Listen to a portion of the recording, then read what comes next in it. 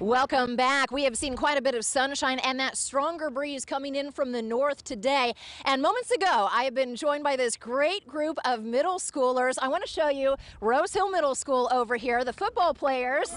I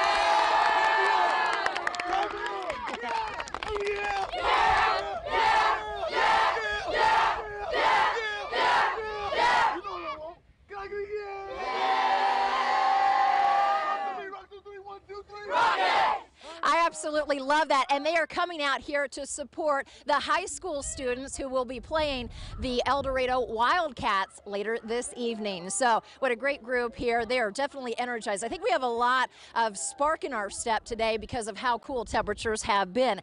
It's Friday, which means it's time for some football. Rose Hill will be facing El Dorado tonight. KSN's Emily Younger live from the stadium. Hey, Emily.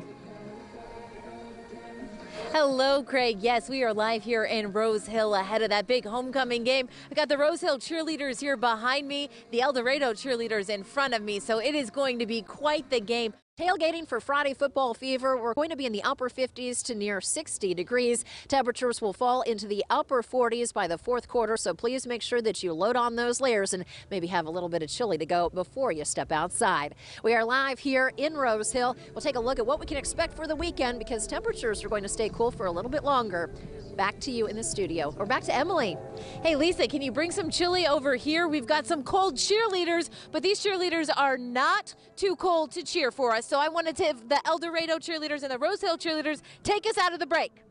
We got spirit, yes we do. We got spirit, how about you? We got spirit, yes we do. We got spirit, how about